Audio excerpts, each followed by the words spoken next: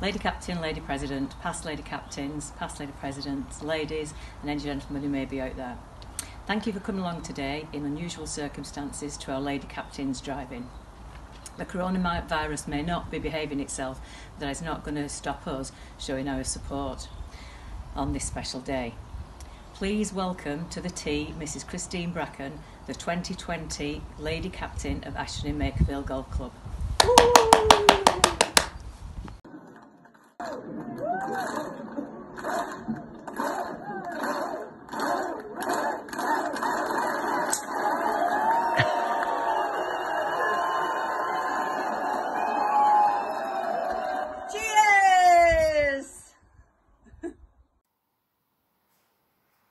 Chris, Lady Captain.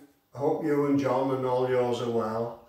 Uh, this is a great idea, especially uh, opening a bottle at this time of day. I hope you hit a good one straight down the middle. My only worry is uh, getting a lolly stick into your garden. So enjoy your year, looking forward, keep safe and looking forward to seeing you all again soon. Cheers.